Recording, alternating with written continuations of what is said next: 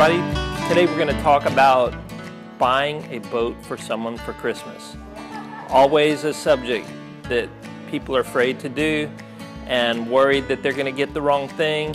But what could be better than a kayak for Christmas? Nothing could be more exciting. So I wanted to tell you some of the things that we have at Pack and Paddle that would make buying a boat for someone for Christmas just a little bit easier. Number one, we have a really good selection.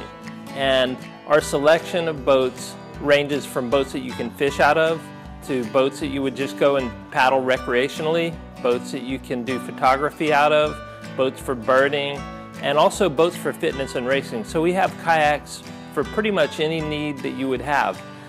Uh, the problem with that sometimes is you're not sure which one to pick, and that's where our staff comes in. We've got a bunch of great guys and girls that can walk you through the different models and help you pick just that perfect boat that would suit the person that you're giving the boat to. So let's take a little walk around and look at some of these different models and then we'll come back at the end and finish it up. We have some fantastic fishing craft starting at only $8.99, fully ready to go with rod holders, paddles, ready to go. Uh, in addition to that, we have boats like the Frontier that are great at duck hunting, are super stable for fly fishing. And if you'll follow me back this way, we have some pedal boats.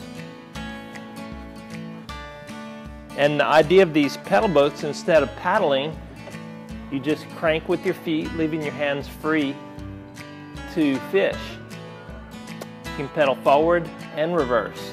So we have pedal craft starting at only $19.99, going up to around $4,000. So uh, great selection of fishing craft. The next thing I'm going to do is show you some of our recreational models. We call Louisiana Paddler's Paradise, and that's because we have so many, so many paddling opportunities. And a lot of people immediately think of fishing, but rec paddling or recreational paddling is fantastic here. And we have some boats that are perfect for it. If you like to take touring trips like Lake Martin, Two O'Clock Bayou, that type of trip, we have boats like Jackson Wilderness Systems that are fantastic for that. And uh, if you are into rec paddling to bird watch or to take photographs, we have one of the most popular boats for that, which is the Native Ultimate that you can see right here. So if you're rec paddling or if you're gifting someone that's rec paddling, we have a great selection of boats that you can choose from. If the person on your list likes to stand while they paddle, we have a great selection of stand-up paddle boards uh, for a lot of different purposes. We have very, very lightweight boards for people who just like to get out and exercise. We also have boards that are set up specifically for fishing that are very wide, very stable, very comfortable.